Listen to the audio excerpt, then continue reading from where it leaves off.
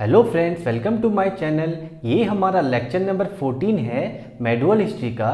तो चलिए शुरू करते हैं। दोस्तों, आज हम पढ़ने वाले हैं गुलाम वंश के शासक रुकनुद्दीन फिरोज शाह के बारे में। जिनका शासनकाल केवल एक वर्ष ही रहता है।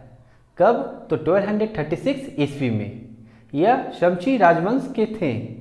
यह कुतुबुद्दीन ऐबक के पुत्र थे। इधर देखिए। सन 1236 ईस्वी में इल्तुतमिश ने अपनी मृत्यु के पूर्व ही अपनी योग पुत्री रजिया को अपने उत्तराधिकारी के रूप में नियुक्ति की घोषणा कर दी थी। क्योंकि बड़े पुत्र नसरुद्दीन महमूद की मृत्यु सन 1229 ईस्वी में हो गई थी।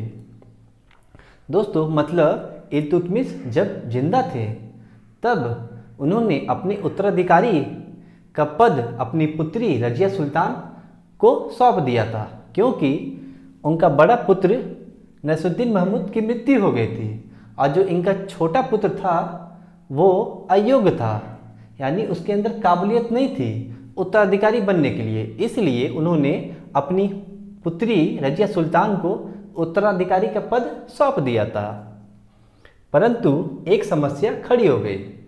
क्या तो इल्तुतमिश की मृत्यु के बाद उसके दूसरे पुत्र रुकनुद्दीन फिरोज शाह जो कि अयोग शासक था, जिसके अंदर काबिलियत नहीं थी, वह गद्दी पर बैठता है।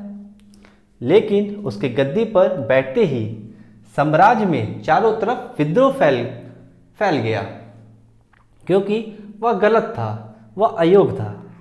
अतः वह ज़बरदस्ती विद्रोह को दबाने के लिए दिल्ली से बाहर जाता है।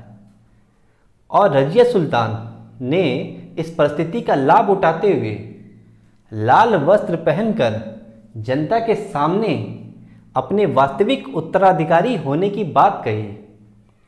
जनता व अमीरों के समर्थन से वह दिल्ली की गद्दी पर बैठी। अंततः फिरोज शाह के वापस लौटते ही फिरोज शाह को बंदी गृह में डाल दिया गया। इस तरह रुकनुद्दीन फिरोज शाह का अध्याय खत्म होता है। दोस्तों, अगर मेरा वीडियो आपको पसंद आए तो इसे लाइक करिएगा शेयर करिएगा और कमेंट के माध्यम से ज़रूर बताइएगा कि हमारा वीडियो आपको कैसा लगा और चैनल सब्सक्राइब करना ना भूलिएगा। धन्यवाद।